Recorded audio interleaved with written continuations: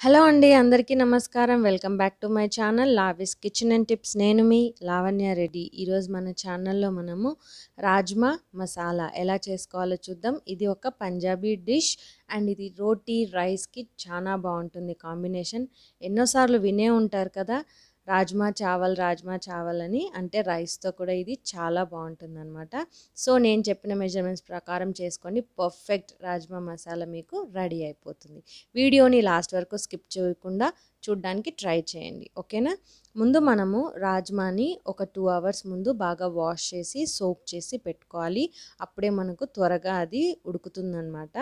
ఇప్పుడు మనము ఒక కుక్కర్ పెట్టుకొని అందులోకి రెండు టేబుల్ స్పూన్ల ఆయిల్ వేసుకోవాలి. ఆయిల్ అనేది కాస్త హీట్ ఎక్కిన తర్వాత ఫ్లేమ్‌ని లోలో పెట్టుకొని ఒక మూడు బిర్యానీ ఆకులు సినమిన్ స్టిక్స్ ఒక మూడు ఒక టీ స్పూన్ జీలకర్ర వేసేసి ఇవి కాస్త మనము వేయించుకోవాలన్నమాట.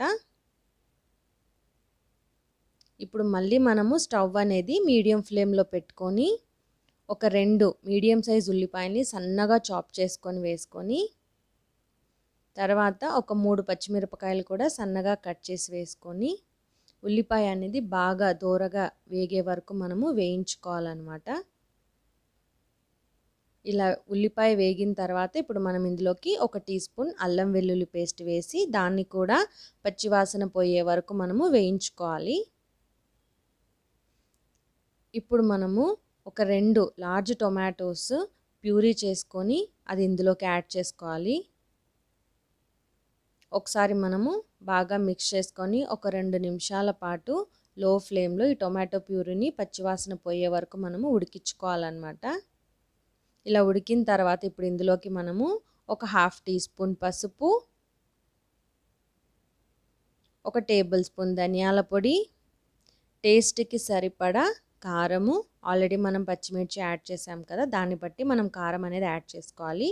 ఒక టీ స్పూన్ జీలకర్ర పొడి. ఇవన్నీ వేసిన తర్వాత మళ్ళీ మనము ఒక నిమిషం పాటు లేదా అర నిమిషం పాటు లో ఫ్లేమ్‌లో బాగా ఈ మసాలాలన్నీ ఉడికించుకోవాలి. తర్వాత టేస్ట్‌కి సరిపడా ఉప్పు అనేది వేసుకోవాలి.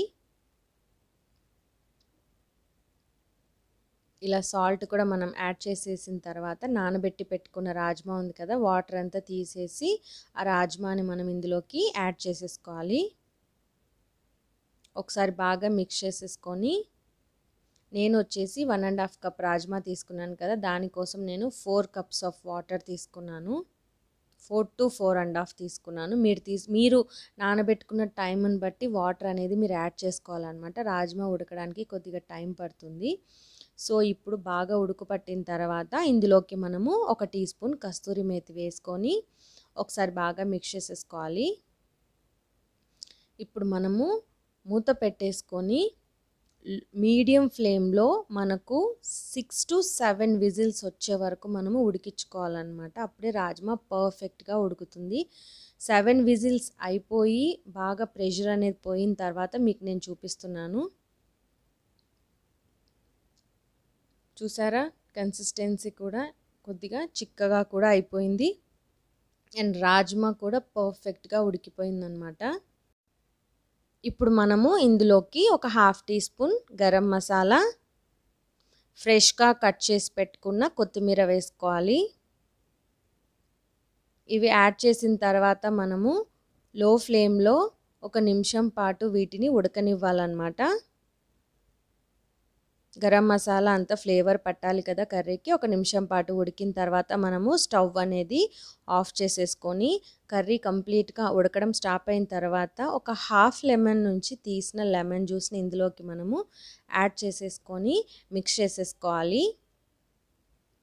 అంతే ఎంతో టేస్టీగా ఉండే రాజ్మా మసాలా రెడీ అయిపోయింది. ఇది చపాతీ, రోటీ, రైస్‌లోకి చాలా బాగుంటుంది కాంబినేషన్. నచ్చిందా మీకు రెసిపీ? నచ్చినట్లయితే మీరు కూడా ట్రై చేయండి. ఎలా వచ్చిందో కామెంట్ బాక్స్‌లో కామెంట్ చేయండి.